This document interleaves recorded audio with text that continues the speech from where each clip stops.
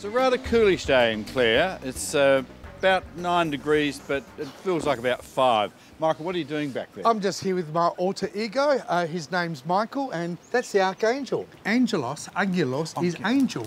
Angelopoulos is the son of, and guess what Angelakis Oh, is? get out. Little angel. Oh, that's true. no. And my, my halo's dropped a couple of times, but Mickey, firstly, Yep. I've pre-coated these Good job fish. of the filleting, by the way. Do you like that? Oh, look. No, now very listen, the reason I pre-coated them, because you asked me, Yeah. so they sit. So I did them last night in my caravan Mm. Yeah. without um, without you did makeup. too. It, it, it did And a I've marvellous got, job. and Mickey, Yep. you asked me about the oil. Right, I haven't, but I will. What about the oil?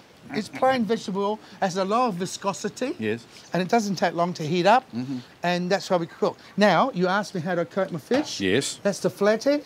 Hmm. Right, flour. I always get I always get the egg and the flour mixed up. Yeah, I was going to put number one and number two for you. That's But I've seasoned my flour with sea salt, black crack. So in the egg wash. black crack pepper. Yes, in Yep, the egg good. wash. Okay. Yeah.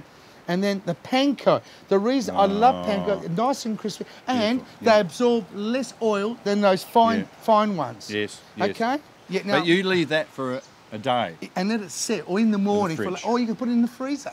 Now, my fish is ready. Michael, look at Look at that. How long did that take, Mickey? Oh, two minutes. That's it. See, by pre by pre-coating it, Yep. this little bugger won't go in the pot. No, you got him. Oh, I got you him. I'll get you, you little. What I'm going to make is a Oh, tartare yeah. sauce. Now you've got to use Sandra's. yes. And she makes this beautiful dill mustard. Mm, that's it there. Absolutely special. Okay. So special. give that a little bit of a shake. Yep.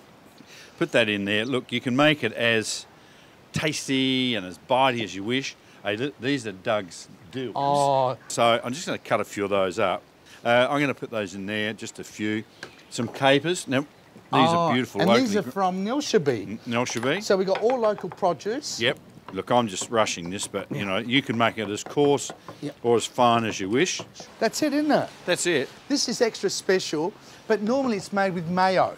Zest of the lemon. Yep. I can and put it a doesn't of. need any lemon juice because it's No. got that in it. Hey, look at this. Here we go. Have a look. Do you want to try it? Shall you want we? to do the finger test? Yeah, go on. Try it out. Oh. Aloha. Flathead fillets coated in a panko breadcrumb.